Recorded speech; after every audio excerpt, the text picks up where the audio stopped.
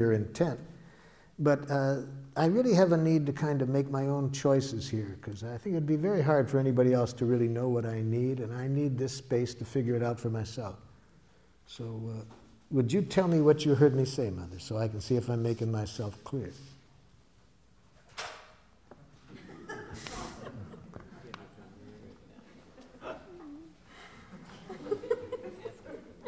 So now I know Mother didn't hear me. Now I know Mother didn't hear my needs. She probably heard a rejection. She probably heard that she's not valued. So, but it's important that I not think that her reaction is because of what I said. If I express my feelings and needs, it would be impossible for a person to react this way if they heard it. They would have gotten a gift.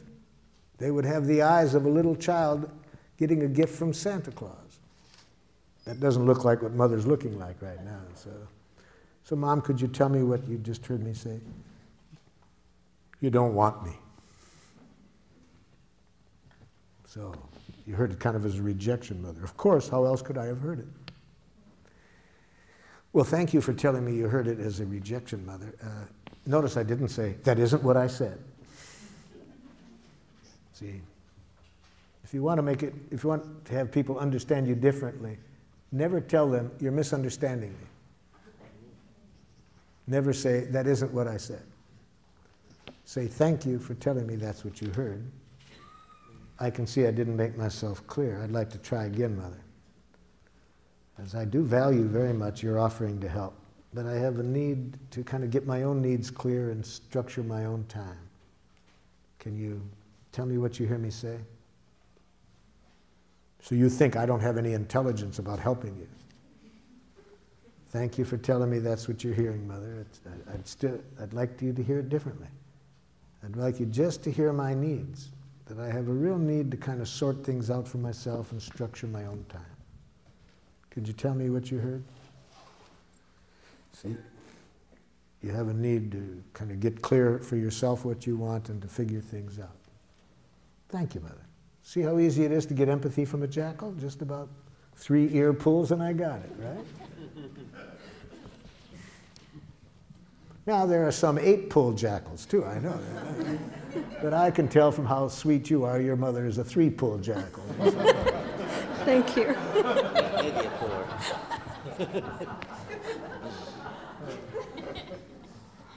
yes. You mentioned uh, you mentioned earlier this morning about enjoying suffering. Could you Yes. elaborate on Oh, that? Oh, yes, that's, that's very important. Thanks you for bringing back to me about it. Okay, a friend of yours says this to you I'm a nothing. I'll never amount to anything. Look at I'm an assistant clerk at age 45. And my brother's a head of his company. And my sister is a top attorney. And and I'm a nothing. Okay? Now, to enjoy this person's suffering, we have to release ourselves from two kinds of responsibility. First, that we didn't cause the pain. And we want to release ourselves from that, especially when the other person is trying to make us believe we did cause the pain. See, so if this person had started, and you're at fault for all of this, why am I nothing? Especially when a person says that, we do not want to in any way think we cause this person's pain, because you can't cause another person's psychological pain. Well, in this case, the person wasn't saying that, so that's pretty easy to liberate ourselves from feeling responsible. But the second one is the hard one to think we have to fix it, to make the person feel better. The more we think it's our job to make a person feel better, the more we're going to make it worse. Because you can't fix people. The good news is you don't have to. There is a very powerful healing energy always available if we don't block it. And how do we block that energy? By trying to fix things ourselves. So, how do we help that energy do the job? By empathy. And empathy requires presence, just to be present. When we are just present, when we are remembering the Buddha's advice, don't do something, stand there. When we do that, and that energy works through us, there is a precious connection between that person and us. And that precious connection is what I mean by enjoy the pain, to enjoy that precious connection. And whether this person's feeling joy or pain, if we are present there with them, that's what I mean. But we block that beautiful energy whenever we step in and think we have to fix things. So if we say, oh, they're there, you'll feel better, it'll get over it, we make it worse. When we start to give advice, we make it worse. So, what does that look like? So, you're feeling really discouraged and really would like to have achieved more in your life at this moment than you've done. Yes, yes, I've had every opportunity, and look at me, I've just never made use of anything, you know. Yeah, so, you're really discouraged and frustrated and uh, would really have liked to have made different use of some things than you have. Yeah. See, I'm just present, not trying to fix it. And when that happens, there's a very precious connection. That's what I mean by enjoyment. And that precious connection does the healing, not your advice, not your whatever. Yes? Can you clarify the distinction between empathizing and sort of encouraging and supporting the soap opera of, you know, somebody who is um, somebody who's suffering, and sometimes by being there, it's sort of a subtle encouragement as opposed to. Um, the subtle encouragement that I think you're talking about comes about when this person is talking about what happened to them for the 50th time you've heard the story.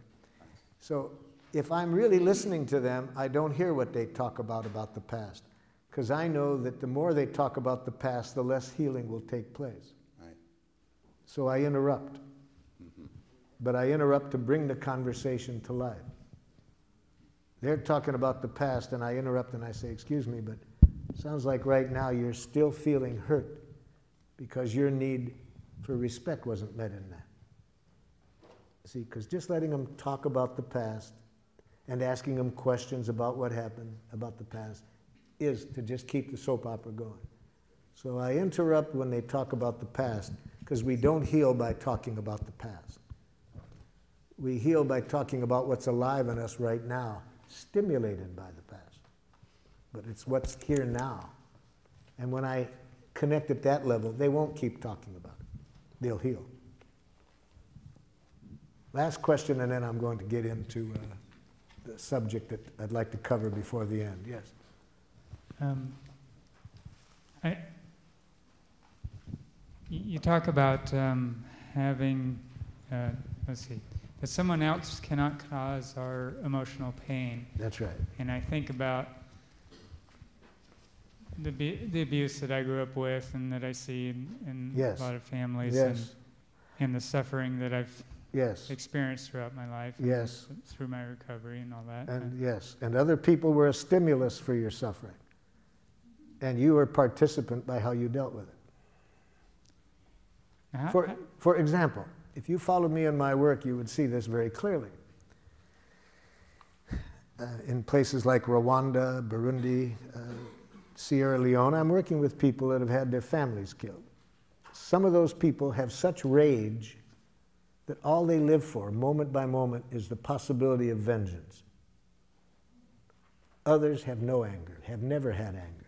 Same exact stimulus. They have deep feelings.